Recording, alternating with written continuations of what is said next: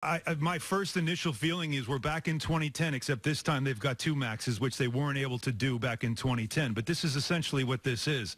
This feels like, you know, they try to rebuild and it's just, it's not going to happen. So swing for the fences and go get KD and Kyrie.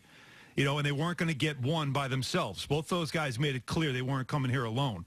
And it's been a rumor for a long time. Now, The other rumor that has finally come to fruition, which we've all been worried about, and it's something that you know to me is is really upsetting is the fact that this guy you bled for 17 win season and drafted Kristaps Porzingis and this guy essentially just started putting out those that that sense that he didn't want to be here that he didn't either trust the franchise right. what he went through with Phil Jackson what he saw what happened with Carmelo Anthony and he had enough people in his ear which includes his brother uh, who means well uh, but I never really I, every time I tried to talk to the guy and I tried to you know, even just sometimes you just try to help people out, like get, let him get a lay of the land. He always seemed like he was smarter than you or acted like he was smarter than you.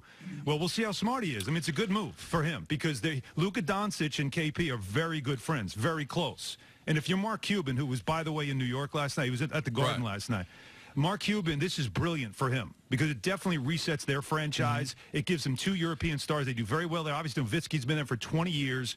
So this is great for them, and it's a place where you expect Porzingis will sign an extension and stay there. And that's the limited market the Knicks were working with here. So I know I'm all over the place, but I'll begin no. with the fact that this didn't just happen today. All right, the, it leaked today. Sure. But this wasn't something that just mm. suddenly was. KP walked in the office, said, I don't like the direction. And they said, fine, we'll trade you. Oh, and ho- Dallas just happened to be here last night. Let's send you to them. This has been this has been in the works for months. Right. And in fact, maybe even the last couple of days when something was able to come up on, on this and turned it into a deal that the Knicks looked at and said, we get a young point guard that they, they know they should have taken in the draft that year and they didn't they get the, the caps. I mean, moving Tim Hardaway Jr.'s contract, that almost seemed impossible to do without giving up a first-round pick. Now, I don't know what the picks are involved, but I do believe the Knicks are getting picks in this deal. Uh, and yet moving these contracts, and now they have two maxes. And now they can look at Durant and Kyrie, who do want to play together, and say, you guys want to come to New York. You both are basketball guys. You both love this city and love the history of basketball. Come save the franchise. Be the guys that we make statues for in the next five years. That's essentially what's happening here. And yet they still have a young core mm-hmm. of players, which again, 2010 was different. 2010 was scorched earth, only one, only one max, and LeBron was the guy. LeBron or bust. Then they had no young players. They really didn't have anything else going on except for a coach with a system and LeBron. This time around, they're a little bit smarter. They've got young players. They got a lottery pick that still could be Zion Williamson, and now they have two maxes to go after two of the biggest names in the game. So we'll see if this time it works. Now, I used the analogy earlier because the fans, some of them are up in arms about the deal because they're just going to go under the assumption they're not going to be able to get the free agents because they never get the free agents. Right. But you, sometimes you got to ask the girl out at the bar. You, even though you think she's going to say no, you still have to well, ask. Don, you got well, to be in the game. I always say this. You, you got to be in the game. And those who say, well, it's no use, you're never going to get the guy, let's look back at the reasons why they never got the guy. Because no guy was coming here by himself. No one ever. Melo came because Amar'e was already here. Amar'e came because they gave him a ton of money and there was no other options for him at that time. Like this was his best option. But when you're talking about like top 10, top 5 players, they're not coming here by themselves. It's too hard to do alone. It's the heaviest jersey in the in the NBA. You put it on, it weighs you down. So you can't do this alone. Everybody knows it. They saw what Melo went through. And so that's why the Knicks had to say, if we're going to get one, we got to get two. There's only one way to do it. And you had a guy who clearly, guys, did not want to be here. And I can't understand for life me why. And he's a pain in the A. I cannot understand. And he's a pain in the A also. Let me ask you, Alan Hahn, our Knicks expert, the Knick guy, how would you grade this trade for the Knicks? That's a, oh, God. I hate, I, I just hate it because they traded him. I really do. I hate it because they traded him. So you um, liked him. You thought he was going to be great. I want. I well, I wanted him to be great. You know what I mean? It's homegrown. This is a guy you just. I wanted him to be great because of the year you go. I mean, sixty loss season. You drop in the draft, and yet you get the second best player in that draft class. That's That's pretty damn good. All right, That's but- some fortune there. But but knowing they didn't, knowing he didn't want to be here, Mm-hmm.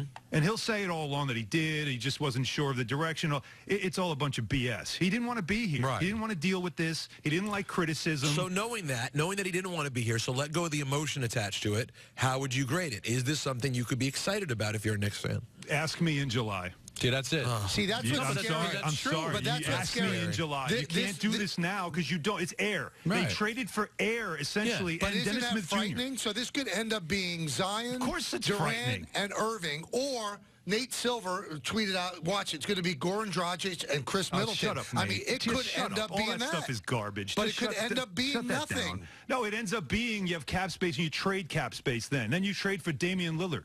You do whatever you can.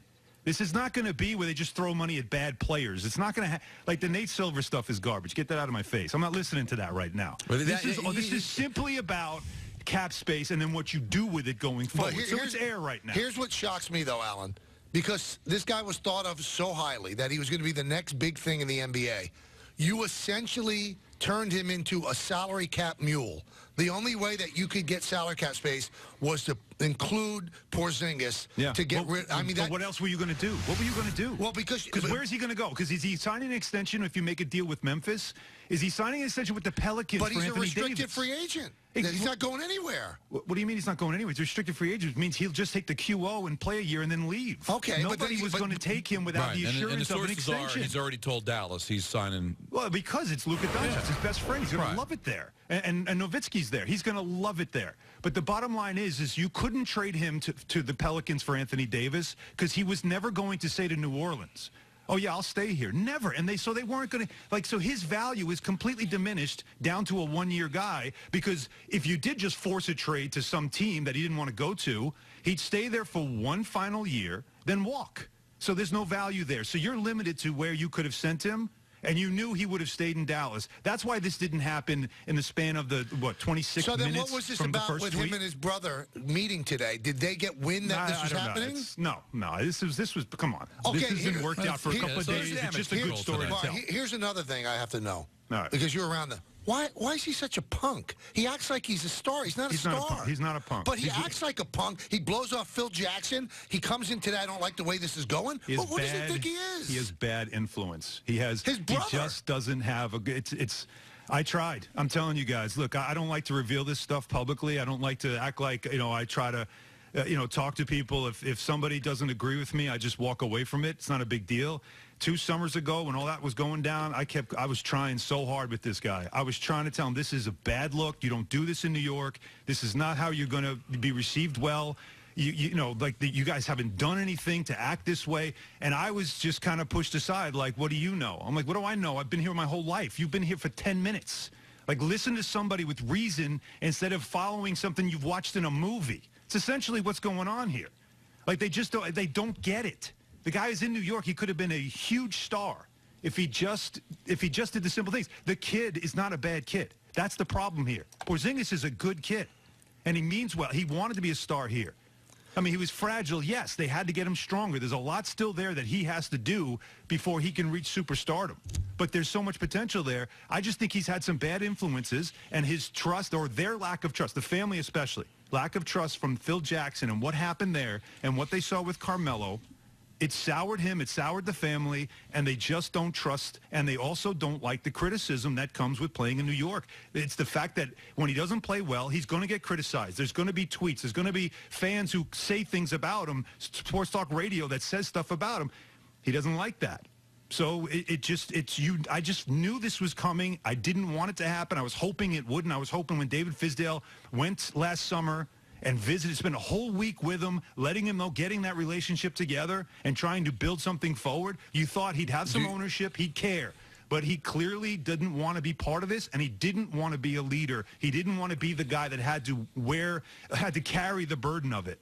So he's on, he's now in Dallas, and the Knicks now have a huge. I mean, they've got a huge pitch to make in July, hoping, and it starts really now, hoping that they can pull two guys off of two teams that might be in the finals playing against what- each other Here's what I don't get. What's the pitch?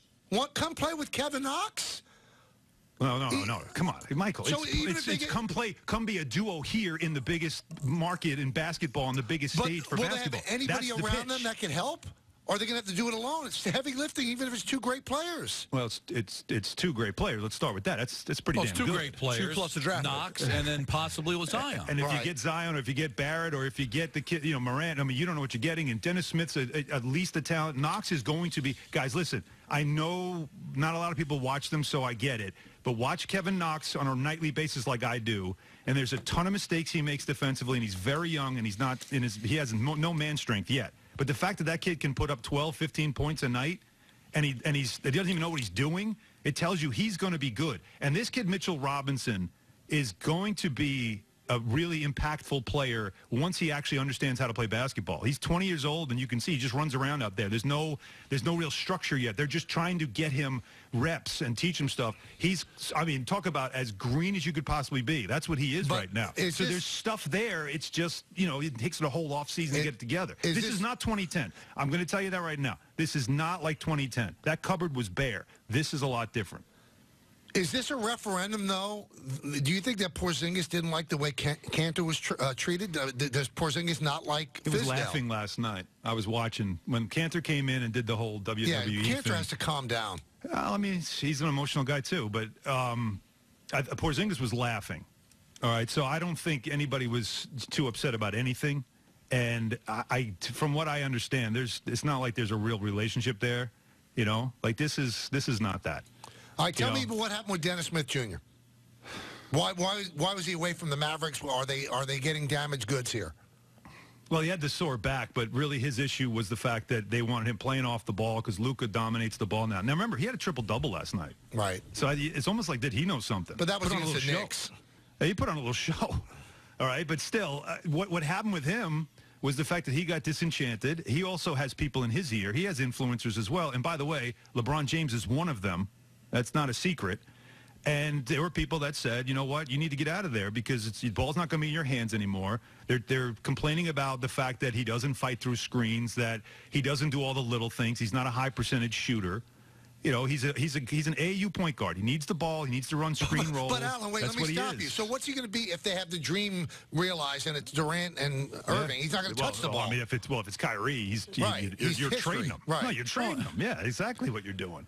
But at least you get a look at him for the last quarter of the season. You uh, know, and didn't that's it Kyrie tell Bo- Boston that he was staying with them? So that's no longer on the well, he table. told the he told the Boston crowd. Right. But I mean, if you've been paying attention to some of the stories coming out of Boston, he keeps hinting to different things. Not him, but people around him keep hinting to, oh, you know, I, I might want to get back with LeBron, and and he still is interested. It, there was a story out of Boston just recently that the, the Celtics' bigger concern is not the Lakers, but the Knicks because they are laying in the weeds with the potential to get more cap space, and now that they've got it there's something real there. There's always been that connection between he and Kevin Durant. They both come to the city. They come to New York in the summers. They play at Rucker. They play at Dyckman. They play. They love playing summer ball. You saw Uncle Drew. That whole thing was about New York City uh, street basketball. So they both have that appreciation for it. And all you can think now is that if they can make the right pitch, whatever it is, uh, you know, just here, you guys want to own the city, you'll own it. Come together and you'll own it. That's basically the pitch right now. And if those two guys decide not to and they get shut out, you just continue back to well cap space and use it properly and keep playing the young players, I guess. But this is, you know, what else were you going to do Yeah. for Porzingis if he didn't want to be here? See, that's see, that's the ultimate point here, and I think a lot of the nitpicking about this is because of the history of the Knicks, and the feeling is, oh, of course it's going to fail. It's that that Jet Met syndrome. Of course the other shoe is going to drop. Of course it's going to fail. Oh, oh But expect we're the worst and hope yeah, for the best. But but the thing is, And you they do have every described the right to that. And no listen, question. Steve Porzingis Mills even said that. You have a right to be Right, skeptical because history tells you to be skeptical. But you have to eventually make bold moves to change it. There was a time the Patriots were a joke. The Saints were a joke. You know, now these become The perennial winning Warriors were a franchises. You guys Yeah. know that, that that Steph Curry, when he signed his extension and the team traded Monta Ellis, the fans booed the owner and the GM Right. for doing that. So the idea is to make the bold move, and, and, and the negative is losing Porzingis, but there is negatives in Porzingis. He hasn't been able to be on the court. He didn't want to be here. Michael, you called him uh, all kinds of names to start the show. He called him a punk.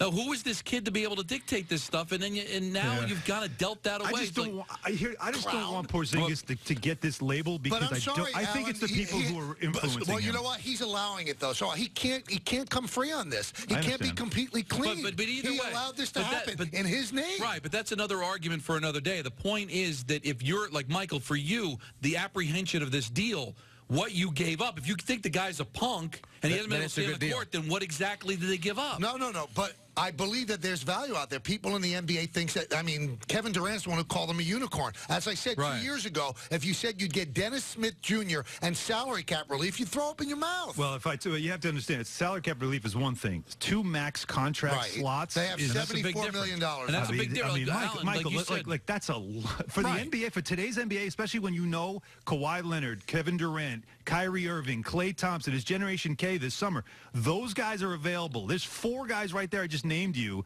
that if you if you added two of them, you suddenly become a top four team in the East. So you know we're not saying you know some salary cap relief. We're talking about a major amount of money at a time where there's some big names available. but as I said earlier, it's air right now until you use it properly. And-